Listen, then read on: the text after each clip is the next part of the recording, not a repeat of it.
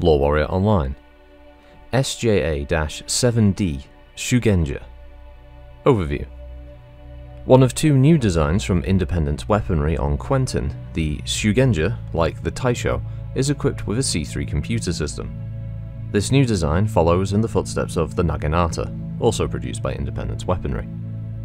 As the C3 computer has finally begun to lose its stigma amongst Combine warriors, Independence expects sales of all three units to skyrocket within the next year. Capabilities Impressed with the maneuverability and survivability of the unusual Komodo battle mech, Independence Weaponry contacted Luthien Armor Works to produce the design specs for its base Alshain type chassis. After acquiring the chassis, designers began altering it to support an additional 30 tons of equipment and armor. The finished chassis bears a striking similarity to the Komodo, causing several executives at Luthien Armor Works to call the new design Komodo's Big Brother. As with the Taisho, the Shugenja is built around a C3 master computer. However, unlike the Taisho and Naginata designs, which mount standard low-cost engines, the design specifications of this mech required the more expensive extra light engine. However, Independence Weaponry is confident that the power of this new design more than offsets the higher price tag. The mech's weapons complement includes two large lasers, an extended range PPC, and an MRM-30 launcher, armed with the new Shugenja medium range missiles. The seemingly mystical ability of this design to bring that firepower to bear on almost any opponent regardless of the speed or terrain involved, thanks to the superior targeting of the C3 system in conjunction with the mech's lance mates, gave the Shugenja its name, which means magic user. Deployment As with the Taisho, the first Shugenjas have been shipped to the Genyosha regiments. So this is a 75 ton heavy, it's the Alshain Type Heavy Chi chassis. It has a 300 VLAR XL power plant with a cruise speed of 54 and a max speed of 86 with no jump capacity. Its armour is ferrofibrous. Its armament then is a Lord's Light Extended Range PPC, the best name of the PPC brands, two diverse optics Type 30 large lasers, and a single Shugenja MRM-30 launcher. It's manufactured by Independence Weaponry on Quentin, with its communication system provided by the Garrett T19F with C3 targeting computer, and its targeting and tracking system is the Cat's Eyes 5. Not a bad looking design actually, probably the most classic uh, sort of style and look that uh, sort of immediately reminds me of a lot of the you know 2750 3025 era sort of uh, art. Uh, the weapons are actually decently sized proportionately to the mech, which is quite nice. And uh, yeah, overall, I, I, quite like it. Uh, this all translates to a Walk of Fortuna run 6, so a little slower than the Barghest, for instance, in the previous entry. It has 15 double heat sinks for 30 dissipation, which is pretty damn good, which it's going to need it because an extended range PPC is already pumping out, well, 15 heat. Uh, this is a mech that has 9 armor on the head, 35 on the CT with 11 on the rear, 24 on the torsos with 8 on the rear, and 24 on the arms and 32 on the legs, so pretty decently armored. Uh, can even take a couple of hits to the back before having to worry about uh, uh, being opened up in the internals there. The ERPPC is the left arm mounted weapon. The MRM-30 is technically left torso mounted, uh, but obviously sits quite square on the top there as you can see.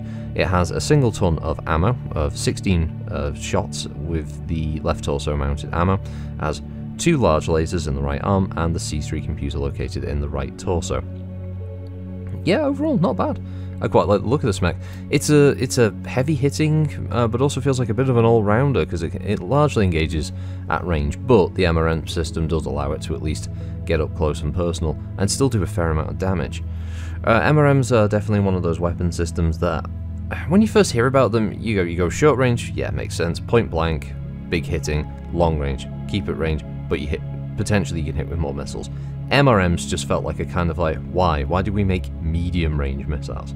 But then you start to realise that medium range missiles aren't too bad. They're the midpoint between, obviously, the LRM system and the SRM system in the sense that they are obviously a bit more accurate the closer you get, but they give you the potential of being able to hit with a lot of munitions all at the same time while also not having to worry about so much uh, damage being hit on the player, because yeah, I think they still do one damage per missile.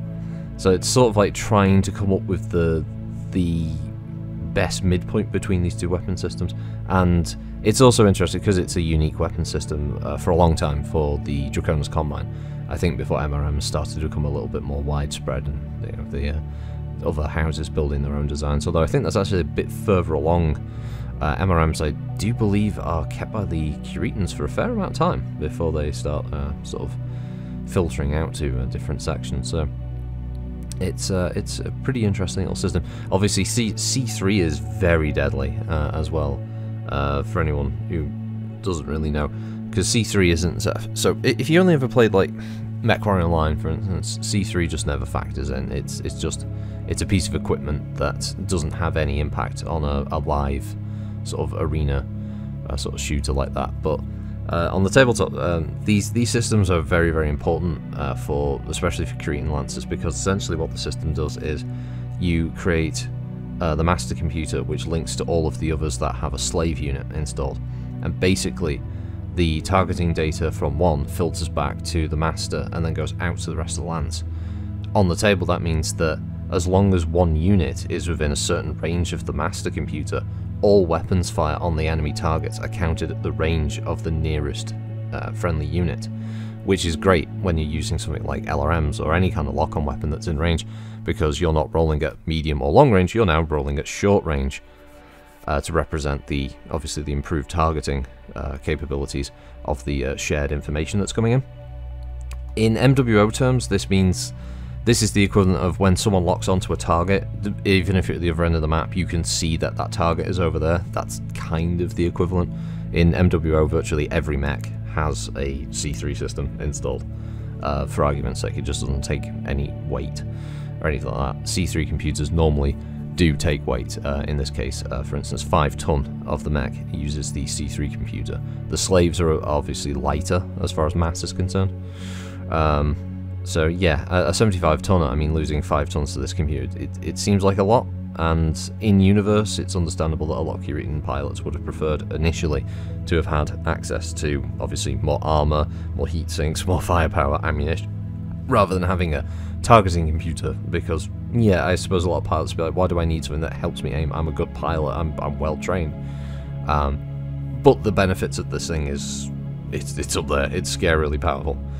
Um, so yeah, uh, it's I said, I, I, quite like this package overall. It's a good mech. It's uh, actually it's a little bit of a pity that obviously it's uh, it uses the MRM because I would loved to have um, seen a variant of this prior to MRMs coming in, where maybe it had an LRM system instead. Um, that would have been cool just to use it in an earlier period because having to jump into obviously the sort of late 3050s, 3060, early 3060s to get access to some of these uh, interesting designs is a bit of a bit of a bummer, but still. That's the uh, that's the Shugenja. Quite like it. Yeah, so uh, yeah, that's all I got on that one. Uh, definitely, I, I, suppose if I was going to use it, it would definitely be a mech that I would reward players with. Uh, could be something that they might they might be awarded by uh, maybe a Kuritan noble who is very grateful for the service that the players have provided. it's obviously salvage. something that they might be able to buy, considering it's made by Independence Weaponry, so they may be able to get contacts within uh, the they might do a contract for Independence Weapons, for instance, and may be able to work out some kind of deal. Uh, they could be test piloting one of these things, or um, it might be, uh, say, an older variant, uh, like a testbed variant that might have had uh, that may not have had an MRM system, a different missile system on board, or it may have uh, had like a slightly different weapons configuration, and the players get to keep it afterwards, that kind of thing. so yeah, I could see it being used in a few different ways. So, yeah, it's pretty cool. Anyway, thanks for listening, everyone. I'll catch you all next time, and have a good week until then. Bye bye.